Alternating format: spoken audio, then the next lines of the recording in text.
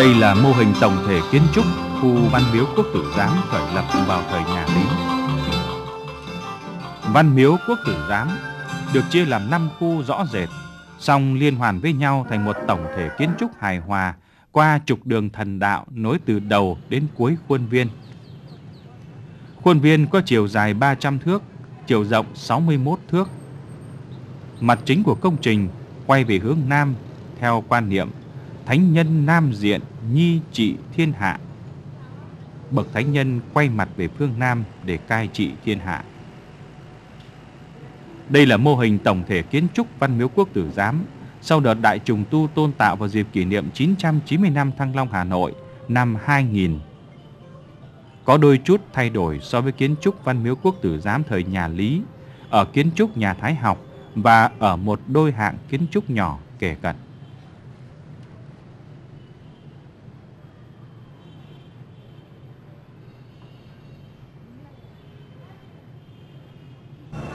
Tử giám được khởi lập từ năm 1076 dưới triều đại nhà Lý.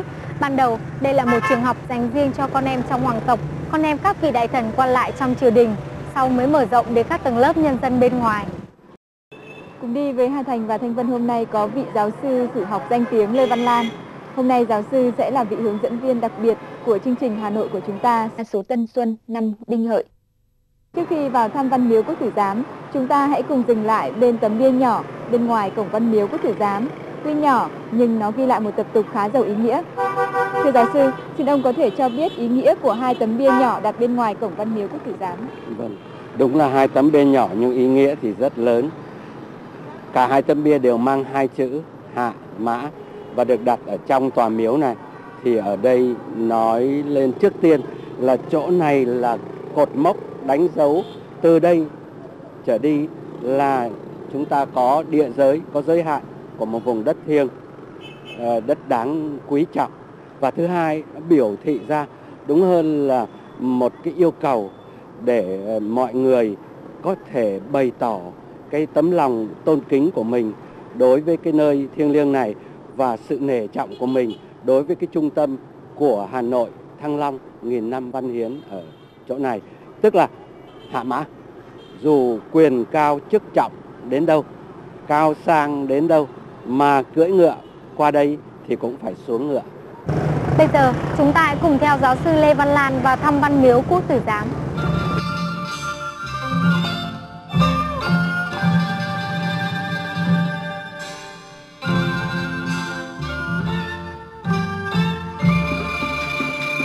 Tứ trụ là cổng chính của Văn Miếu Quốc Tử Giám. Trước đây, tứ trụ nằm soi bóng xuống mặt Hồ Văn đối diện với gò Kim Châu. Theo quan niệm phong thủy Á Đông, âm dương đối ngẫu thường thể hiện ở các kiến trúc tôn giáo. Song sau này, trong thời Pháp thuộc, tứ trụ bị chia cắt với Hồ Văn bởi phố Quốc Tử Giám chạy ngang. Trên tứ trụ có hình nghê chầu phượng múa. Đây là những con vật thiêng, thường được đắp nổi ở các đình miếu cổ, thể hiện sự thiêng liêng và vẻ hoa mỹ của di tích quý giá. Những câu đối đề cửa tứ trụ đều có ý nghĩa ngợi ca đạo học trong chốn nhân gian. Cao vững mấy tầm trở chuyên biết bao đạo lý, ngóng trông vạn thở, nguy nga một chốn học đường. Sau khi qua cổng tứ trụ, chúng ta đã bước vào đoạn đầu của con đường thần đạo, đoạn nối giữa tứ trụ và tam quan. Tam quan văn miếu quốc tử giám cao hai tầng, tám mái, mở ra ba cửa.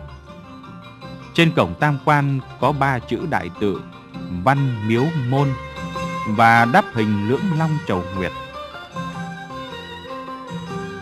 Bên trái cổng tam quan đắp hình long ngư tụ hội. Cá rồng ẩn hiện trong mây, ví như cảnh thanh vân đắc lộ của các nho sinh thành đạt. Bên phải là cảnh mãnh hổ hạ sơn, hổ lớn hùng dũng xuống núi, ngụ ý như các bậc thức giả vững bước vào thời cuộc mới. Những câu đối đề cổng tam quan có ý nghĩa ngợi ca những kết quả của sự học trong chốn nhân gian.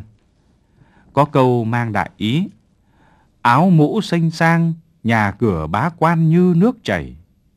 Tam quan bề thế, học đường bao lớp tựa núi cao. Cổng chính của tam quan chỉ được mở cho các bậc vương quân đi trong các dịp đại lễ. Các môn sinh và thứ dân thì chỉ đi ở hai cửa nhỏ hai bên. À, thưa giáo sư, thế hệ chúng tôi thường gọi chung chung công trình này là Văn Miếu Quốc Tử Giám. À, thế nhưng nghe nói đây là hai công trình được xây dựng vào hai thời điểm khác nhau. Vậy giáo sư có thể giải thích rõ hơn về sự khác nhau này?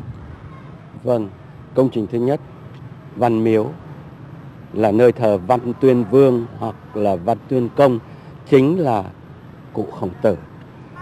Được Lý Thanh Tông cho xây dựng vào năm 1070. Lý Thanh Tông là Lý Gia Đệ Tam Đế, là phụ hoàng của Lý Nhân Tông, Lý Gia Đệ Tứ Đế và chính Lý Nhân Tông ấy là người xây công thứ hai, Quốc Tử Giám năm 1076. Do đó chúng ta có một tổ hợp kiến trúc vừa để thờ khổng tử, vừa để làm cái trường đại học đầu tiên của nền văn hóa và của khoa học dân tộc chúng ta ghép lại thì thành văn miếu và quốc tử giám. Khu nội tự của văn miếu thiêng liêng được ngăn cách với không gian bên ngoài bằng hệ thống tường gạch vồ vững chãi và chia thành 5 lớp không gian khác nhau. Mỗi lớp không gian lại được giới hạn bởi một bức tường gạch chạy hết chiều ngang và có cửa thông nhau. Năm khu tương ứng với ngũ hành, kim, mộc, thủy, hỏa, thổ. Theo quan niệm sự phối tác năm yếu tố cơ bản hình thành nên vũ trụ của triết học phương Đông cổ truyền. Chúng ta đang ở lớp không gian đầu tiên giữa tam quan và cửa đại trung gọi là khu nhập đạo. Tại đây có hai khuôn hồ lớn. Ở vị trí như hai ao mắt rồng tại các ngôi đình chùa vùng nông thôn Bắc Bộ. Đường thần đạo chính giữa dẫn vào cửa chính của cổng Đại Trung. Song song với đường thần đạo là hai lối nhỏ dẫn thẳng đến hai cửa nhỏ nằm hai bên phải trái của cửa Đại Trung, mang tên cửa Thành Đức và cửa Đạt Tài. Ý nghĩa sâu xa là đạo học sẽ đào tạo môn sinh thành những con người toàn diện, có đủ cả đức lẫn tài, có khả năng đem tài đức ra thi thố trong xã hội để phụng sự triều đình và chúng dân muôn nhà. Trong năm lớp không gian của Văn Miếu Quốc Tử Giám, không gian khu nhập đạo này có cảnh quan môi trường tươi đẹp và khoáng đạt nhất, bao gồm một hệ thống cây cổ thụ có tuổi đời mấy trăm năm tuổi các loại cây cho bóng mát và cho hoa nở suốt bốn mùa xuân hạ thu đông.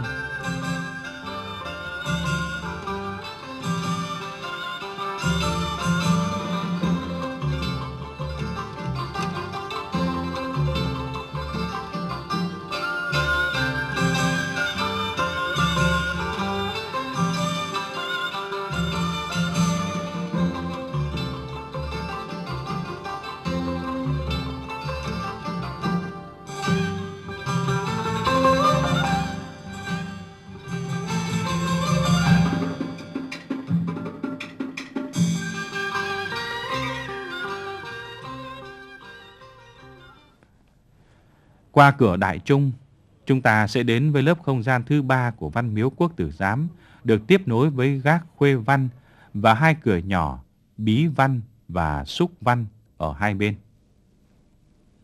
Bí Văn và Xúc Văn hàm ý ca tụng những vẻ đẹp của văn chương. Đó là hàm ý xúc tích, trau chuốt, sáng sủa. Gác Khuê Văn là một lầu gác tám mái, một nóc, thể hiện điểm cực dương, được xây dựng vào năm 1805 dưới triều Nguyễn Gia Long, do quan tổng trấn Bắc Thành Nguyễn Văn Thành chỉ đạo thiết kế thi công. Tuy ra đời cùng thời với các hạng mục khác trong văn miếu quốc tử giám, song kiến trúc gác khuê văn rất hài hòa với tổng thể kiến trúc văn miếu quốc tử giám và từ lâu đã trở thành một điểm nhấn kiến trúc thu hút mắt nhìn của du khách trong và ngoài nước ba chữ đại tự Khuê Văn Các được đề trên cao ở cả mặt trước và mặt sau của lầu gác. Xung quanh gác Khuê Văn đều có đề những đôi câu đối ngụ ý ca tụng vẻ đẹp và ý nghĩa của đạo học và văn chương trong trời đất. Đại ý, sao khuê sáng giữa trời, nhân văn dạng tỏ. Sông Bích đượm sắc xuân, đạo học dài lâu. Ờ, thưa giáo sư, gác khuê văn ban đầu được xây dựng nhằm mục đích gì và xin giáo sư hãy giải thích ý nghĩa của biểu tượng gác khuê văn. Như tên gọi, chúng ta thấy ở kia có ba chữ khuê văn các thì khuê văn chính là chủ đề của cái việc xây dựng nên cái công trình kiến trúc này. Đó là ngôi sao chủ trì việc văn chương, văn học, giáo dục, khoa cử. Cho nên đặt cái công trình có tính chất biểu trưng, biểu tượng này vào đây thì nội dung tư tưởng là hoàn toàn phù hợp với lại cái văn miếu và cái quốc tử giám ở nơi này. Về mặt vật thể thì những đường nét kiến trúc và kiểu dáng kiến trúc cũng hoàn toàn hài hòa, ăn nhập vào cái bối cảnh chung của khắp cái vùng này. Cái hình mặt trời tượng trưng cho Ờ, đạo học và những cái gì thiêng liêng cao quý. Gác khuê văn xinh xắn, kiến trúc giản dị tao nhã, soi mình duyên dáng trên mặt nước thiên quang tỉnh, tức giếng ánh sáng mặt trời. Giếng thiên quang vừa tạo một nhịp tiếp đối kiến trúc hài hòa nơi trung tâm cho tổng thể kiến trúc văn miếu quốc tử giám, vừa có ý nghĩa như là một hồ nước điều hòa không khí cho không gian rộng lớn văn miếu quốc tử giám. Và giếng thiên quang còn đóng vai trò một mặt gương thiên nhiên rộng lớn và sáng tỏ. Khuê văn, theo cách lý giải truyền thống, là tên một ngôi sao trong chòm sao sáng nhất của bầu trời, gồm 28 ngôi, gọi là nhị thập bát tú. Trong sách Hiếu Kinh có ghi sao khuê chủ về văn chương. Sâu xa, giếng thiên quang hình vuông tượng trưng cho mặt đất xanh tươi, cửa sổ hình tròn của khuê văn các và những tia sáng xòe rộng xung quanh tượng trưng cho mặt trời rực rỡ. Hàm ý nơi đây là chốn hội tụ tinh hoa của trời đất, ngụ ý đề cao vị thế một trung tâm văn hóa giáo dục lớn nhất và danh tiếng nhất của đất nước.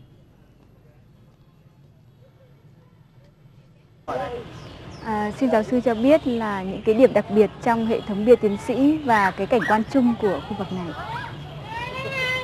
82 bia tiến sĩ ở hai bên khu vực này thực sự là một kho tàng vô giá lưu trữ không chỉ là tên tuổi của những người đã đỗ đạt trong các khoa thi thời nhà Lê hơn 300 năm mà nó còn là cái nơi giữ gìn và biểu đạt ra cả cái hệ thống tư tưởng và văn hóa của nước Việt Nam trung cổ và cổ truyền.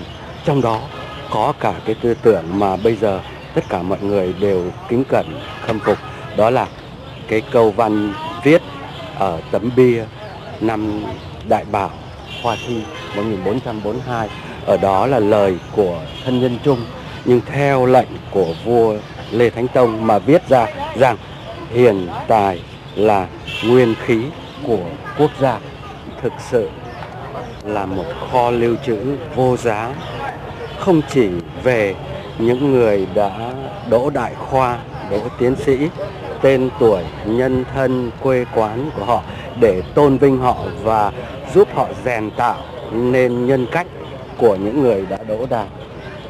Đồng thời biểu dương tôn vinh họ, khuyến khích những người khác cũng noi gương họ mà uh, trở thành những bậc hiền tài. Chỉ có một điều uh, là uh, những tấm bia ấy khuôn vào hơn 300 năm của thời Lê. Còn thì các thời khác chúng ta không có được những hình thức phải lưu trữ và phản ánh như thế này. Một điều đặc sắc chính là những hàng bia ấy là soi trên cái vùng nước này mà tên của vùng nước này chính là Thiên Quang Tỉnh Giếng, Ánh Sáng Trời. Các sĩ tử cũng như các quan khách từ ngoài vào trong khu chính này đều phải đi qua đây và họ phải soi bóng mình xuống cái tấm gương này để lấy ánh sáng của trời thiên quang mà chỉnh đốn lại tư tưởng của mình, cũng như là vật thể lấy luôn cái làn nước xanh này làm nơi mà sửa sang lại y quan áo mũ cho chỉnh tề để lấy ánh sáng trời mà rèn tạo thanh lọc những cái điều gì không xứng đáng ở trong mình trước khi vào đến cái nơi thiêng liêng quan trọng nhất ở trong chùa. Hai bên giếng thiên quang là hệ thống hai dãy, bốn nhà bia lớn, mỗi dãy gồm 41 tấm bia. 82 tấm bia hiện còn đó là những hiện vật có giá trị lớn nhất của Văn Miếu Quốc Tử Giám. Nội dung một tấm bia tiến sĩ Đề Lê bao giờ cũng gồm có phần chữ nhỏ để nói ý chỉ của hoàng đế rồi biểu dương việc học.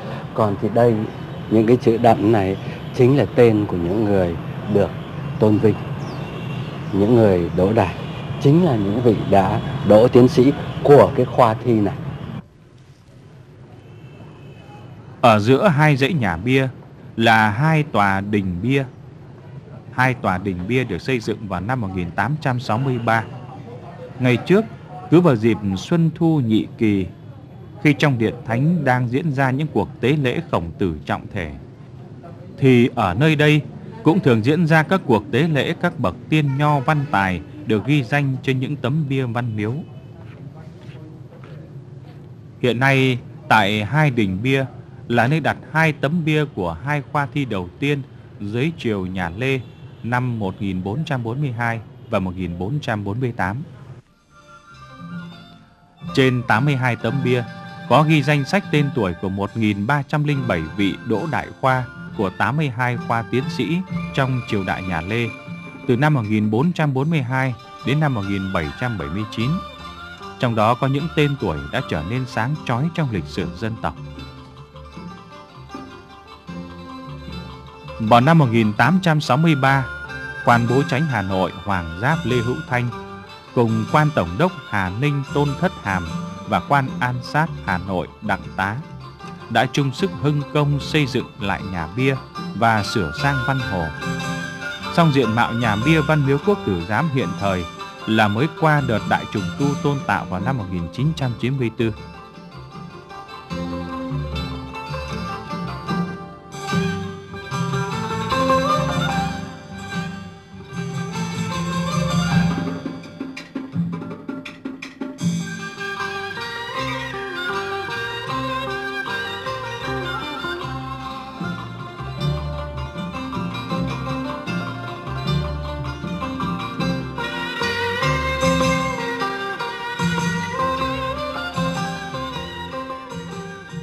Sau hai dãy nhà bia soi mình bên giếng thiên quang, chúng ta sẽ bước chân đến cửa đại thành, cũng chính là bước vào lớp không gian thứ tư của Văn Miếu Quốc Tử Giám. Cấu trúc cửa đại thành cũng tương đồng như cửa đại trung. Cửa đại thành được dựng vào tháng 8 mùa thu năm Canh Tuất 1070 dưới triều vua Lý Thánh Tông, tức năm Thần Vũ thứ hai, và được tu sửa vào triều nhà Nguyễn tháng 11 năm Mậu Tý niên hiệu Đồng Khánh năm thứ hai 1888. Nếu như cửa đại trung có hai cửa nhỏ Bí Văn và Xúc Văn ở hai bên, thì cửa đại thành có hai cửa ngách Kim Thanh và Ngọc Trấn ở hai bên. Đi sau hai dãy Đông Vu và Tây Vu để vào sân Đại Bái và điện Đại Thành. Trước đây chỉ có kỳ đại tế lễ khổng tử thì cửa đại thành mới được mở. Ý nghĩa của ba khuôn cửa ví như là khi tấu nhạc dùng thanh âm của tiếng chuông khởi đầu, kim thanh, tập hợp tiết tấu nhịp điệu âm nhạc mà trình diễn một cách khéo léo tinh tế, để rồi kết thúc bằng tiếng khánh, ngọc chấn, để kết thúc phần hòa âm một cách trôi chảy, ý nhị, hầu diễn đạt được những ý tưởng cao đẹp của Đức Thánh. Đại thành là lấy nghĩa từ câu nói của Mạnh Tử đánh giá về Khổng Tử là người đại thành đạt. Do đó biết tập hợp học vấn, đạo đức tốt đẹp của các bậc tiên thánh tiên hiền trong trời đất. Ra với cổng đại thành trên sân đại bái có hai gốc đại cổ thụ do Hoàng Giáp Xuân quận công Nguyễn Nghiễm, vị thân sinh của đại thi hào Nguyễn Du chồng khi ông đang đương nhiệm chức tư nghiệp quốc tử giám.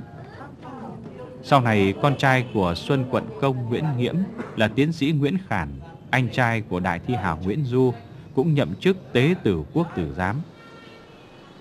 Trước sau trong gần 500 năm, quốc tử giám còn lưu danh sách 93 vị tế tử quốc tử giám và tư nghiệp quốc tử giám. Trong đó có rất nhiều vị tài danh lỗi lạc, đạo đức cao siêu. Đứng đầu là vị sư biểu Chu Văn An đời nhà Trần. Tiếp đó có Nguyễn Phi Khanh, cha của danh nhân văn hóa thế giới, anh hùng dân tộc Nguyễn Trãi. Sử gia Ngô Sĩ Liên, trạng bùng Phùng Khắc Quan, bảng nhãn Lê Quý Đôn, tiến sĩ Phan Lê Phiên, vân vân. Các vị cũng đã góp phần quan trọng trong việc tôn tạo mở mang di tích Văn Miếu Quốc Tử Giám ngày một rộng lớn và khang trang hơn. Tòa bái đường gồm 9 gian, cũng như các hạng mục khác được xây dựng trong Văn Miếu Quốc Tử Giám, đều được thể hiện cung số dương, thể hiện khí thế đi lên, sinh sôi và phát triển, với các con số gian nhà, bậc thềm, nóc mái là 3, 5, 7, 9. 3 là dương sinh, 5 là dương trung hòa, 7 là dương trưởng, 9 là cực dương. Là nơi diễn ra các cuộc đại tế lễ trang trọng. Do vậy chính giữa điện đại bái có một tòa hương án lớn với các đồ thờ tự quý giá. Phía trên hương án có bốn chữ đại tự Vạn Thế Sư Biểu Ý nghĩa đề cao Đức Khổng Tử là người thầy của muôn đời. Các gian xung quanh đều treo các câu đối ngợi ca tài đức của Khổng Tử, đại ý. Đạo đứng đầu kim cổ, đức tỏa lan trời đất. Điện Đại Thành chạy song song với tòa Đại Bái và nối với nhau qua một tiểu đình. Điện Đại Thành cũng gồm 9 gian, mang phong cách kiến trúc thời hậu Lê, đây chính là nơi phụng thờ Đức Khổng Tử, Tứ Phối và Thập Chiết.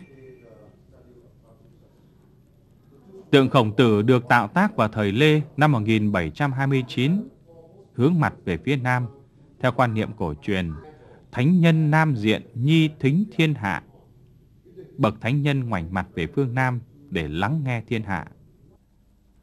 Phía sau là khám thờ, trên ngai có bài vị, chữ đề Đại thành chí thánh tiên sư khổng tử thần vị. Bên đông là tượng của Phục Thánh Nhan Hồi và Thuật Thánh Tử Tư. Bên tây là Tông Thánh Tăng Tử và Á Thánh Mạnh Tử. Đó chính là bốn người học trò thành đạt nhất của Đức Khổng Tử, những người có công kế thừa và phát huy, truyền bá những nét đẹp của đạo nho rộng khắp đất nước Trung Hoa, cũng như các quốc gia chịu ảnh hưởng sâu đậm nền văn hóa Trung Hoa là Nhật Bản, Hàn Quốc, Việt Nam. Tại Điện Đại Thành còn phối thờ thập chiết là những người tiêu biểu cho tứ khoa đức hạnh, ngôn ngữ, chính trị, văn học. Đó là Mẫn Tồn, Nhiễm Canh, Nhiễm Ung, Tể Dư, Đoan Mộc Tứ, Nhiễm Cầu, Trọng Do, Tôn Yển, Bốc Thương, Chuyên Tôn Sư. Hai dãy Đông Vu và Tây Vu song song bên sân Đại Bái cũng đều gồm 9 gian. Trước đây là nơi thờ phụng thất thập nhị hiền, 72 học trò thành danh của Khổng Tử. Phía sau Điện Đại Thành còn gọi là Điện Thánh có cổng Thái học dẫn sang Thái học đường. Đây chính là khu thứ 5 của di tích Văn Miếu Quốc Tử Giám. Thưa giáo sư, xin giáo sư cho biết là trước kia ở tại nhà Thái học thì thường diễn ra những hoạt động trọng yếu nào trong năm? Vâng, đây là công trình mà phục chế làm lại toàn bộ một cái phần quan trọng của khu di tích Văn Miếu Quốc Tử Giám. Nhà Thái học chính là Quốc Tử Giám thời Lý Trần, còn cái tên nhà Thái học là có từ thời Lê.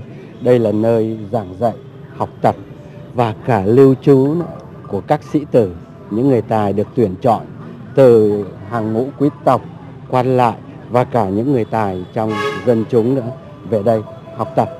Và như thế, mỗi kỳ bình văn đại tập là cả một ngày hội toàn vùng kinh thành. Người ta đến đây để nghe văn chương chữ nghĩa rồi thì thẩm duyệt tài năng của những người sẽ đỗ trong tương lai. Đại khoa đấy là cái nơi mà chúng ta đang đứng ở đây. Đây chính là bộ phận tái hiện, phục hiện của cả một khu vực vô cùng quan trọng của cái phức hợp văn miếu quốc tử giám thời xưa. Đây chính là cơ sở đào tạo, rèn luyện những nhân tài cho đất nước bên cạnh cái nơi tôn sùng, thờ phụng các ông tổ của đạo Nho và Nho học.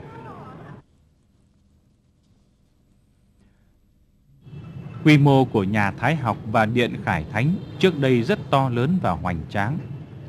Sang đến năm toàn quốc kháng chiến chống Pháp 1946, nhà Thái học và Điện Khải Thánh đã bị phá hủy hoàn toàn. Diện mạo công trình hôm nay có được là từ năm thuộc thập niên 90 của thế kỷ 20 trong chương trình tôn tạo di tích văn hóa lịch sử của Hà Nội nhân kỷ niệm 990 năm khởi lập Thăng Long Hà Nội.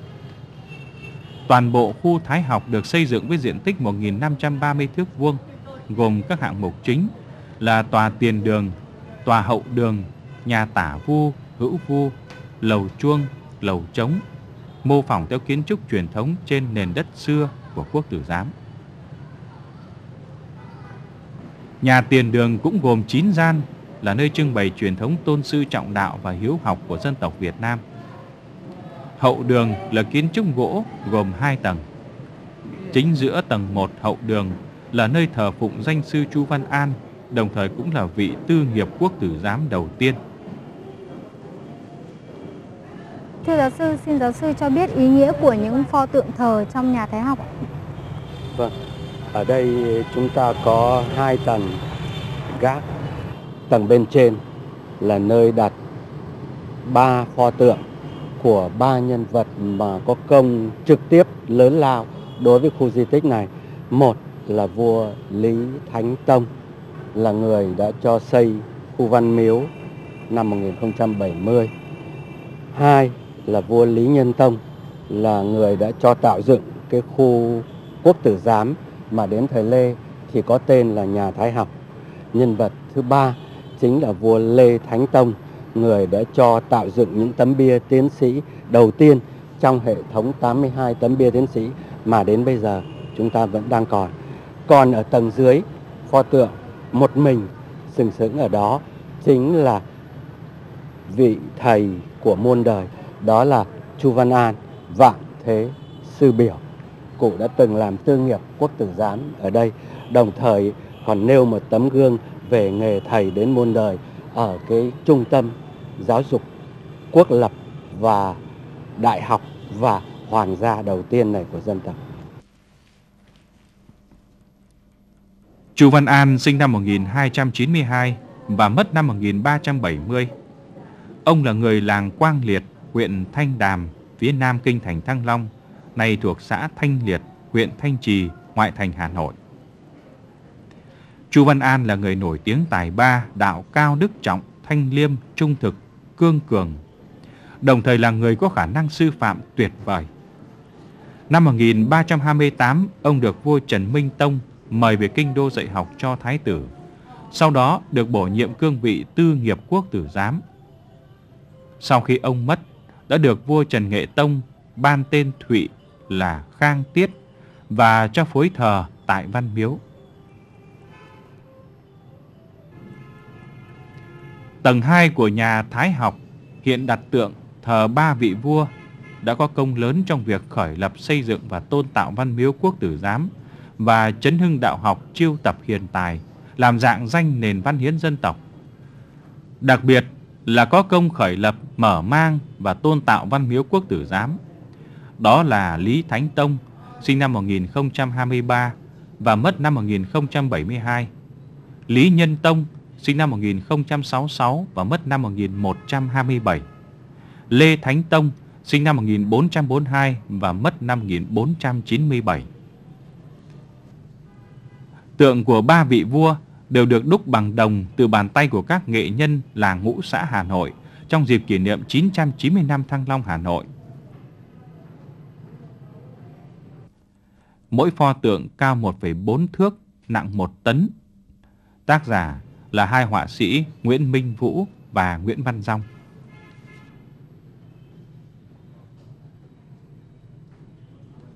Cái nơi mà chúng ta đang đứng ở đây. Bây giờ là chỉ khôi phục lại được một phần như thế thôi. Xin cảm ơn sự dẫn dắt và giải thích của giáo sư và xin chúc giáo sư và gia đình một năm mới hạnh phúc và thành đạt.